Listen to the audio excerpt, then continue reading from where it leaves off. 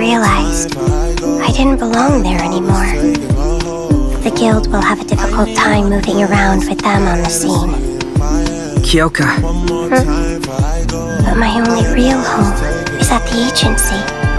I'll fight for that.